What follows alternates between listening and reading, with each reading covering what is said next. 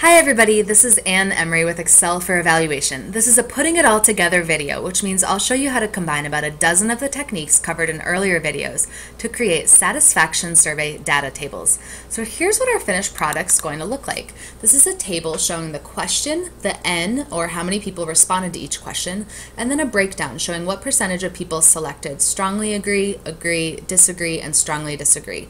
This is the type of table you might add as the appendix in one of your reports, or maybe you you'd, you'd use it as a handout at an upcoming meeting. So let's get started. Here's our data, and let's just scroll down to see what types of calculations we need to do. So first we're going to look at the ends. We're going to use equals count A to see how many people answered each question. Select the data right there, close parentheses, press enter. We can see 44 people answered.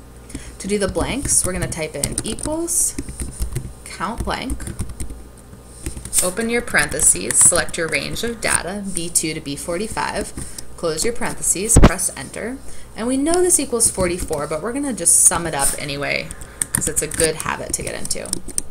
Perfect. So to do the counts, we're going to see how many people responded to each question. We're going to use equals count if.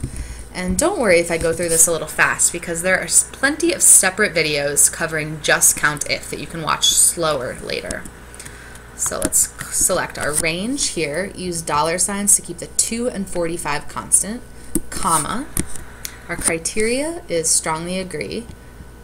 Use dollar signs to hold the A constant. Close your parentheses, press enter. We can see that 32 people responded strongly agree to question one. Since we use dollar signs, we can just drag this down to fill it in.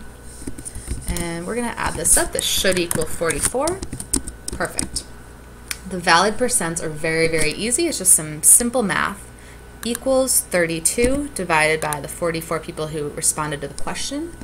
And we're going to use dollar signs to hold the 56 constant. Drag this down, and let's change this to percentages. Right now it's on general format. Let's click on percentages. That's a little bit easier to read. Select this entire area, drag it across. Perfect. So now we're trying to make this table that looks like this. So we're just going to copy and paste some stuff and do some housekeeping to add some borders and some colors. So here's where our table is going to go in this sheet right here. So let's take the question uh, headings right here, Control C, click on A1, paste, paste special, values, transpose, okay. We'll just call this question. Now we need to get the ends. So we'll take this total row right here, Control C, click on B1, paste, paste special, values, transpose, okay. Now we need the percentages. Copy this entire area. Click on C1, paste, paste special, values, transpose, okay. And we'll change them to percentages. Now let's just make this look a little bit prettier. Expand that, make this bold, gray, wrap our text. Uh, let's make it a little bit bigger there.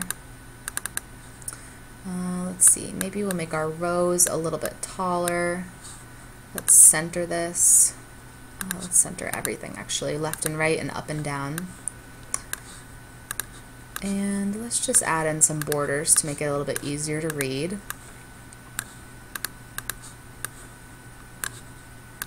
And maybe some some borders going across the rows to make it a little bit easier to read that way. Well, there we go. I think we're all done. It pretty much matches. I mean, you can have the rows as tall or as short as you want. So there you have it. If you'd like to learn more, check out emeryevaluation.com. Thank you very much.